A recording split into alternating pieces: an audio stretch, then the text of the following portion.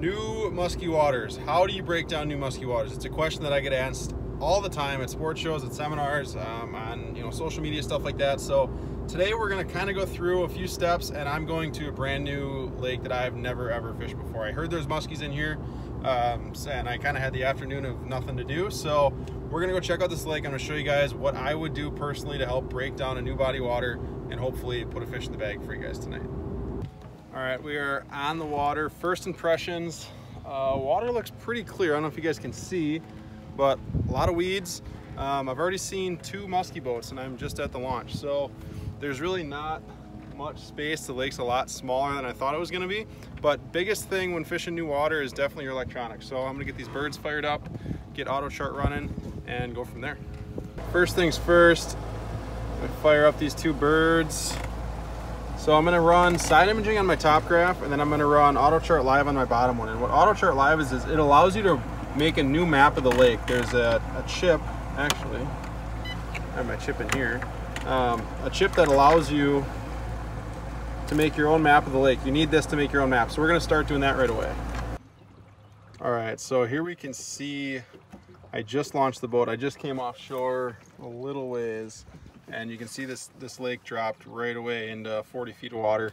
Surface temp reads 79. I know it's really not that warm. My transducer is probably still cooling off from the from the drive over here.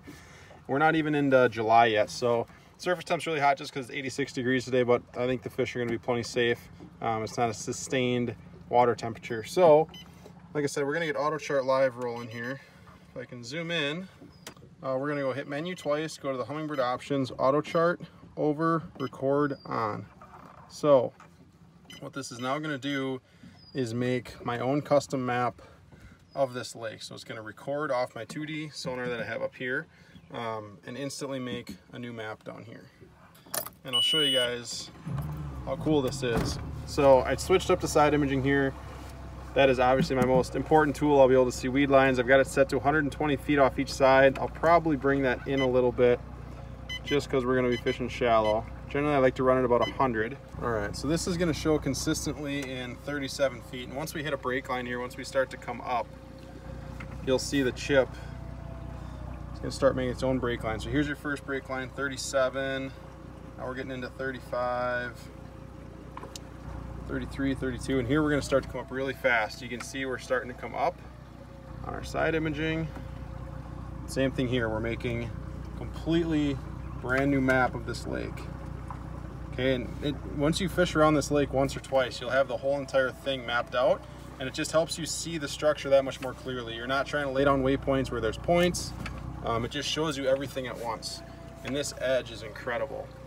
So we're in 17 feet, and there's lilies right there. So that's pretty amazing. You can see the weed edge right here, and now I'm right up on top of it, three feet of water. So this edge is really, really defined, really, really sharp. You can see how tight the contour lines are right there. So there are a bunch of boats out here, like I said. There's three boats and one kayak on the whole entire lake, and they're all musky fishing. For a little bit, just kind of getting a lay for the lake, and check this out. I actually just made a turn. I knew this weed bed was coming, but if you look at this, okay, there's a big tree or something that's sunk in here. And if you look at this mark, I actually drove right over top of it. We'll zoom in here. To me, this looks like either a big pike or a muskie. You can almost see the larger tail here in the back. Um, and then you've got your shadow here, obviously. So this is your actual fish, and then this is the shadow cast. So the distance between this mark and this mark is how far the fish is off the bottom. But that's kind of cool. That gives me uh, some hope besides the four other boats that are fishing here that there's actually muskies here. But that's really cool. Uh, that I think is a muskie on side imaging. So that fish is probably, that was about 13, 13, 14 feet down is right off this point. So that fish is down a little bit. So we have to fish rubber or fish a little deeper.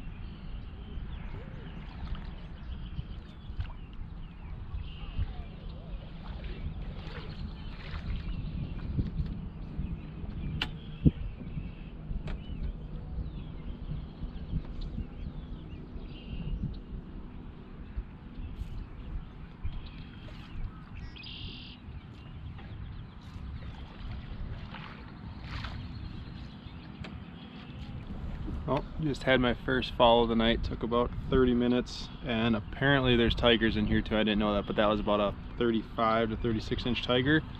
Came in on a Red October tube. Everybody here's fishing bucktails, like so I want to do something a little bit different. Um, throwing a tube, ripping rubber, super good. Uh, as far as the setup here, I've got my 130 pound 49 strand wire. Um, this is a really flexible wire, really nice for, for fishing tubes and eliminates any bite offs you'd ever have with fluorocarbon. And then for mainline, this is 100 pound Seaguar thread lock braid. Fished it on a 10 foot extra heavy Thorne Brothers rod with an 8 to 1 Daiwa Lexa HD 400. So really cool first action of the night. And yeah, that didn't take long. That was really cool.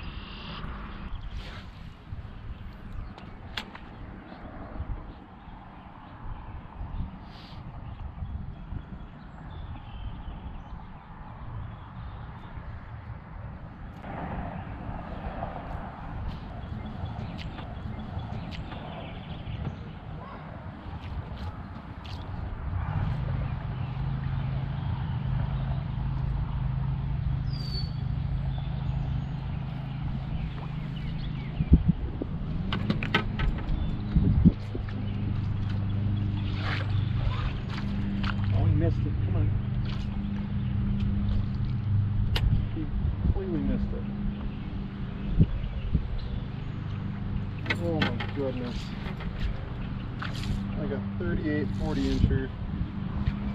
Just whipped. Just coming up on moon.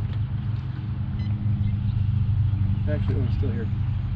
You can see him outside. Still here.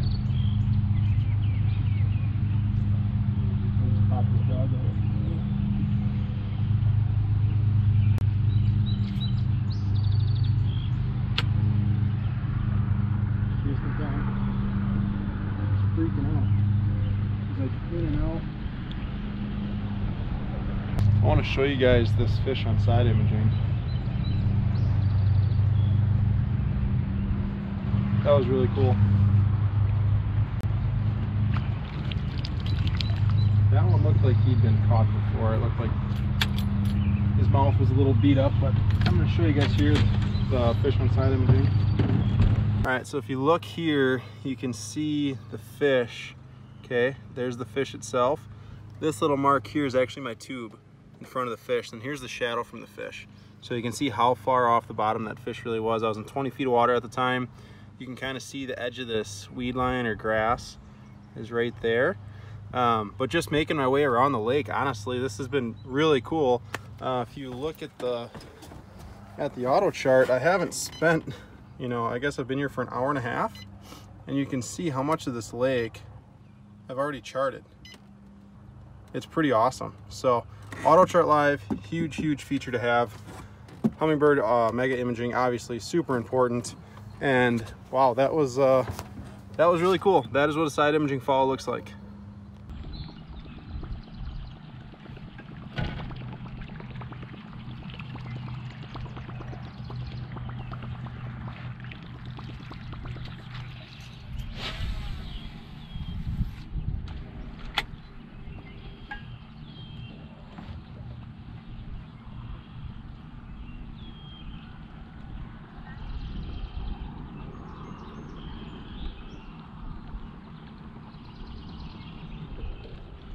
There's one behind it.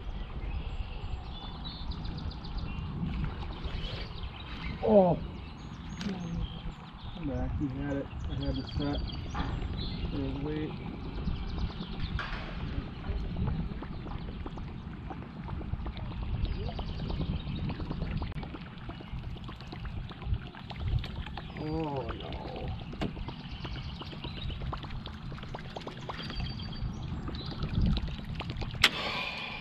Hope I wasn't in the way of the camera, but uh, that one just waked up and just nipped the back of it. I had to set, I felt weight. I just swung and she just wasn't there. Just must have barely grabbed it. Even that was just on a small Sennett pacemaker here.